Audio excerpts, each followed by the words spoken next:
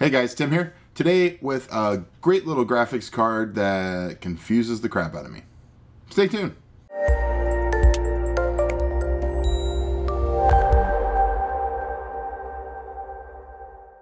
Hey guys, so we're going to take a look at the MSI R7 250. Uh, this was kindly provided by AMD for me to take a look at.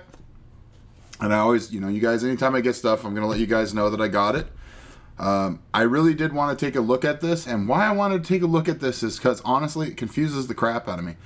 Um, so much so that I'm drinking behind the, the case here. It's priced in a very interesting price point, so under $100. It doesn't need power. It's not as good as the 750 Ti. So let's get to this. It of course comes with some MSI features, above and beyond the AMD like Mantle and things like that. It has afterburner software, which is going to help increase the performance. It is overclocked. Um, it has solid aluminum caps, super ferrite chokes, supports DirectX 11.2 and OpenGL uh, 4.3. And uh, the only other thing that, you know, besides kind of the standard stuff that the current R7s have, uh, is it only has one gig of RAM. So under a hundred dollar card, that's kind of what you're going to expect. However, it would have been really nice to see uh, two gigs, even I think if they backed it off to like GDDR3 maybe. Um, so I'm not quite sure what I think. I'm not, to be honest with you guys, and you guys can let me know in the comments. Do you think one gig of GDDR5 is better than two gigs of GDDR3 or 4? I don't know. However, let's take a look. So, this is a card, you know, it's under a $100. Ooh, it actually has close cell phone. We have the card. And I think we have some drivers in here somewhere. Ah, look at that. The disc of you should not use.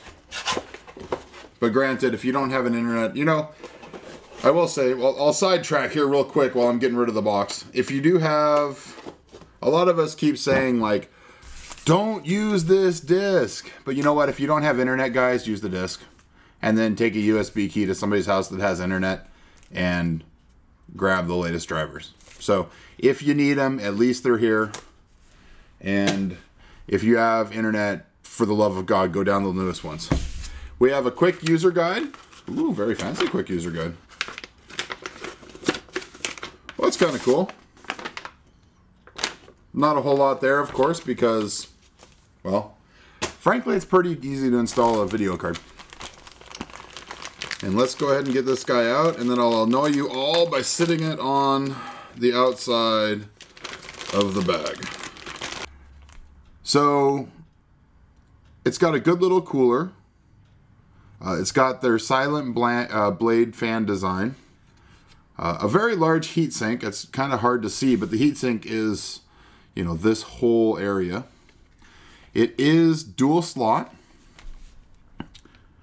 And it has HDMI, uh, DVI, and VGA.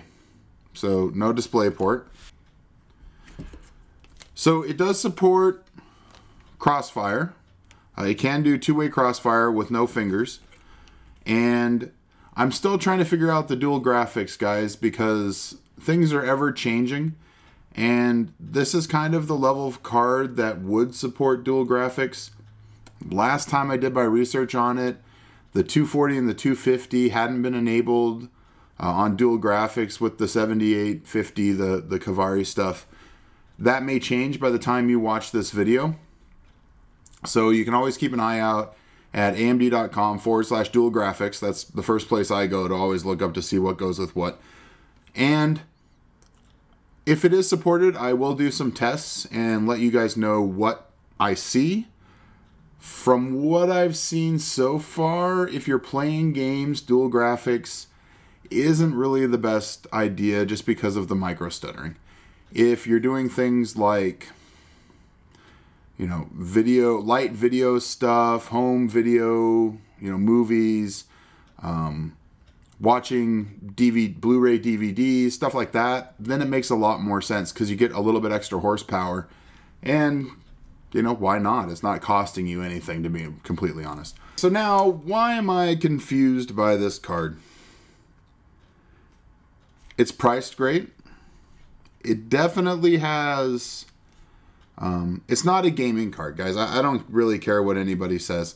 If you're trying to game AAA titles, honestly, you're better buying an Xbox or a PS4.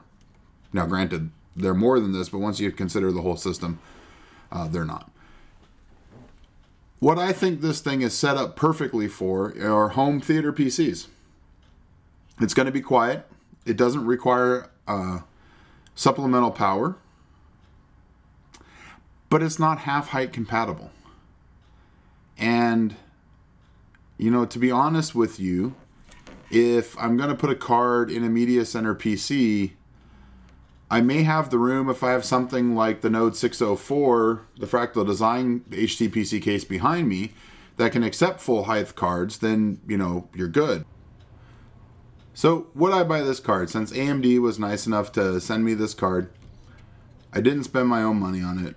Would I spend my own money on it? And I think the answer obviously is well, yes, because I've already spent my money on the previous generation of this card.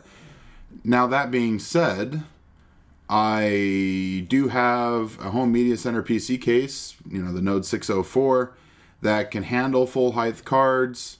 Um, and that's what I like to use for my home media center PC. And I don't game on my home media center PC. I tend to just watch movies and stuff from it or, you know, like YouTube, stuff like that. So in that scenario, I think it's worth it. It would also be worth it if you had, you know, like an older dual core processor, something, you know, four or five years old that maybe only has like a 360 watt power supply in it. It says you want a 400 watt power supply, but guys, I'm, I'm betting you can get away with a 360. So if that older machine, you know, maybe you have a small form factor uh, HP or Dell that will fit a dual um, dual width uh, full height card, then this is definitely worth it because the 750 Ti is going to draw a little bit more power and it may not, you know, you're in that funny space where the power supply just may not quite be powerful enough to be able to do, you know, upgrade the machine. But, you know, if it's, you know, a machine you do homework on, if you're building something out for your kids, um, you know, your parents, heck, this is going to be, you know, in that price range where it makes sense to and you know it's the supplemental power. And in older machines a lot of those old power supplies don't have supplemental power. So this is you know what i consider to be you know the best performance you can really get for kind of that price point um, you know a lot i'm sure a lot of you guys are going to say you know well the 750 ti bloody bloody bloody bloody sure but in this price point it's $50 more, which is another, you know, 50% of the price of this card. So if you're just looking to upgrade an old machine, I think you want to buy, you know, the card that's the best, most cost effective possible. Resurrecting an older PC or you're building out a home theater PC, I, I, think this is the new card you buy because I thought previously that the 6670 was the card you bought. And this is basically the new 6670. So this is Tim for Timmy Tech TV. Thanks for watching, guys. And uh, we'll see you next time, I guess, eh?